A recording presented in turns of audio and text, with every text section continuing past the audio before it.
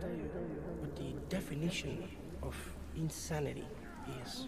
Insanity is doing the exact same fucking thing over and over again, expecting shit to change.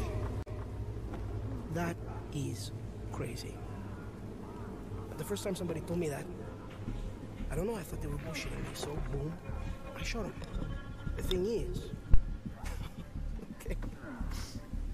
he was right. And then I started seeing it everywhere I looked. Everywhere I looked, all these fucking pricks. Everywhere I looked, doing the exact same fucking thing.